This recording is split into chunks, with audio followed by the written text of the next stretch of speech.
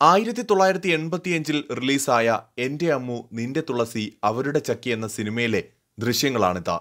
ഈ ക്ഷേത്രം ഇപ്പോൾ എങ്ങനെയാണെന്ന് കാണണ്ടേ? ബാലചന്ദ്ര മേനോൻ സംവിധാനം ചെയ്ത ആയിരത്തി തൊള്ളായിരത്തി എൺപത്തിയഞ്ച് ഫെബ്രുവരി ഇരുപത്തിയൊന്നിന് റിലീസായ സിനിമയുടെ ഈ ദൃശ്യങ്ങൾ ഷൂട്ട് ചെയ്തിരിക്കുന്നത് അരുവിക്കര ശ്രീ ധർമ്മശാസ്ത ക്ഷേത്രത്തിലാണ്. ധർമ്മശാസ്താവിന്റെ വിഗ്രഹത്തോളം തന്നെ പഴക്കമുള്ള അതിപുരാതനമായ മഹാവിഷ്ണുവിന്റെ ക്ഷേത്രമാണ് നാം ഇപ്പോൾ കണ്ടത്.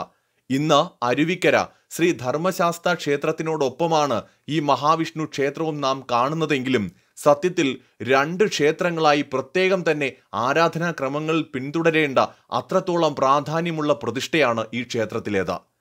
ഇത് അരുവിക്കര പൂർണപുഷ്കല സമേതനായ ശ്രീധർമ്മശാസ്താവ് രണ്ടായിരത്തി ഒരുന്നൂറ് വർഷത്തിനുമേൽ പഴക്കമുണ്ടെന്ന് ആർക്കിയോളജി ഡിപ്പാർട്ട്മെന്റ് കണക്കാക്കിയിരിക്കുന്ന ക്ഷേത്രമാണ്.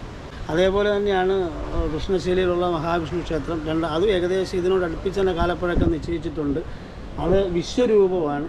ചതുർബാഹുവായിട്ട് സർവാലങ്കാര വിഭൂഷിതനായിട്ട് പടിഞ്ഞാട്ട് ദർശനമായിട്ടിരിക്കുന്ന വ്യവസ്ഥയാണ് പടിഞ്ഞാട്ട് ദർശനമായിട്ടിരിക്കുന്ന മഹാവിഷ്ണു എന്ന് പറഞ്ഞാൽ തന്നെ ഔദ്യോഗികമൂർത്തി എന്നാണ്. ഏതാണ്ട് നാൽപ്പത് വർഷത്തിന് മുമ്പുള്ള ദൃശ്യങ്ങളിൽ ക്ഷേത്രം എങ്ങനെയായിരുന്നുവെന്ന് നമുക്ക് കാണാം. മേൽക്കൂരയൊന്നും ഇല്ലാത്ത നിലയിലായിരുന്നു ക്ഷേത്രം. വലിയ പ്രാധാന്യമൊന്നും കൽപ്പിക്കപ്പെടാതെ വലിയ പരിഗണനയൊന്നും കൊടുക്കാത്ത നിലയിലുമായിരുന്നുവെന്ന് ദൃശ്യങ്ങളിൽ നിന്ന് കാണാം. മാത്രമല്ല തൊട്ടുപുറകിലായി വലിയ പാറകളും കാണാം. നാൽപ്പത് വർഷങ്ങൾക്കിപ്പുറം ഈ കാണുന്നത് പോലെയാണ് മഹാവിഷ്ണുവിന്റെ ക്ഷേത്രം ഇന്ന് കാണപ്പെടുന്നത്. തകർച്ചയുടെ വക്കിലെത്തിയിരുന്ന ക്ഷേത്രത്തെ ജനങ്ങൾ ഏറ്റെടുത്ത് അതിന്റെ പ്രൗഢിയോടെ തന്നെ ഇന്നും സംരക്ഷിച്ചു പോരുന്നതാണ് കാണുന്നത്. നാട്ടുകാർ ചേർന്നുണ്ടാക്കിയ ട്രസ്റ്റിന് കീഴിൽ ഈ പുരാതനമായ ക്ഷേത്രം ഇന്ന് പ്രസിദ്ധിയിലേക്ക് ഉയരുമ്പോൾ വർഷങ്ങൾക്ക് മുമ്പുള്ള ദൃശ്യങ്ങൾ ഒരു ഓർമ്മപ്പെടുത്തലാണ്. ഈ ക്ഷേത്രത്തിന്റെ കാലപ്പഴക്കത്തെക്കുറിച്ചുള്ള ഓർമ്മപ്പെടുത്തൽ. എത്രത്തോളം പുരാതനമായൊരു ക്ഷേത്രമായിരുന്നു ഇത് എന്ന ഓർമ്മപ്പെടുത്തൽ. വളരെ വിശിഷ്ടമായിട്ടുള്ള പ്രതിഷ്ഠയാണ് ഇവിടുത്തേത്. ഇത്തരം പ്രതിഷ്ഠകൾ അപൂർവങ്ങളിൽ അപൂർവമായിട്ടാണ് കാണപ്പെടുക.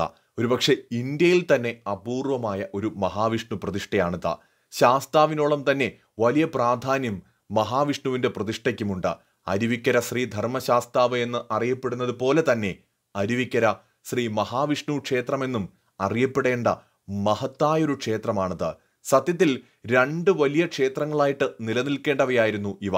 എന്നാൽ ഇന്ന് ഒറ്റ ക്ഷേത്രമായിട്ടാണിത് അറിയപ്പെടുന്നത് എന്ന് മാത്രം. ഇന്നൊരു പക്ഷേ ഈ ക്ഷേത്രം വന്നു കാണുമ്പോൾ ഇത്രയും കാലപ്പഴക്കം ഇതിനുണ്ടോ എന്ന് പലരും സംശയിച്ചേക്കാം. എന്നാൽ ആയിരത്തി തൊള്ളായിരത്തി എൺപത്തി അഞ്ചിലിറങ്ങിയ ഈ സിനിമയിലെ ദൃശ്യങ്ങൾ ക്ഷേത്രത്തിന്റെ കാലപ്പഴക്കത്തിലേക്ക് വിരൽ ചൂണ്ടുന്നതാണ്. ഇതുപോലെ എത്രയെത്ര ക്ഷേത്രങ്ങൾ ആരാലും ശ്രദ്ധിക്കപ്പെടാതെ അനാഥമായി നശിച്ചു പോയിരിക്കുന്നു.